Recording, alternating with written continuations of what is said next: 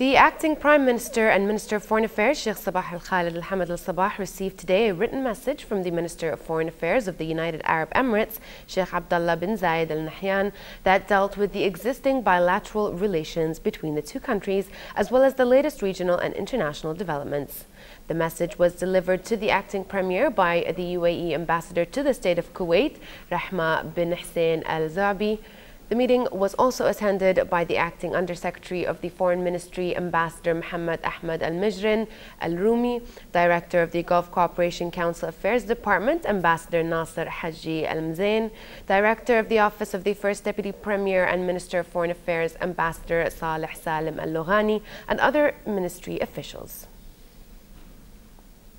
The acting Prime Minister and Foreign Minister, Sheikh Sabah Al Khaled Al Hamad Al Sabah, also received the credentials of the newly appointed ambassador of the Republic of Niger to the state of Kuwait, Abdou Boubakir.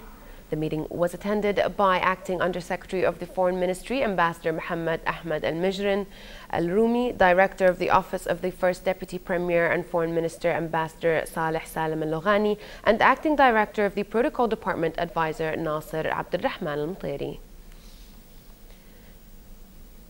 The acting Prime Minister and Foreign Minister then received the outgoing ambassador of Hungary to the state of Kuwait, Csillag Ferenc, on the occasion of ending his tenure to the country. The meeting was attended by the Director of the Office of the First Deputy Premier and Foreign Minister, Ambassador Saleh Salim Al Loghani, and other senior ministry officials.